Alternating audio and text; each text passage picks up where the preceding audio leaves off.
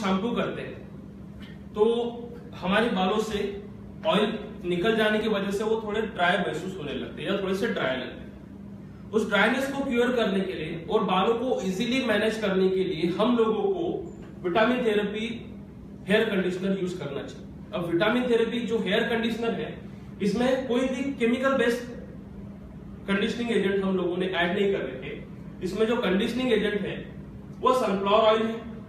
Almond oil है hydrolyse protein है plus vitamin B five और विटामिन ई है।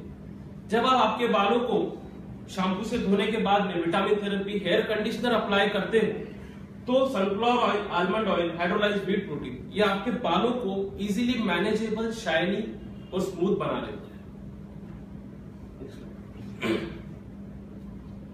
जिस तरह से nourishing shampoo anti dandruff shampoo वो नए पैकिंग में आ रहा है। उसी तरह से विटामिन थेरेपी हेयर कंडीशनर को भी हम 100 ग्राम के बॉटल पैकिंग में ला रहे हैं, जिसका भी एमआरपी बीस रुपए रहेगा।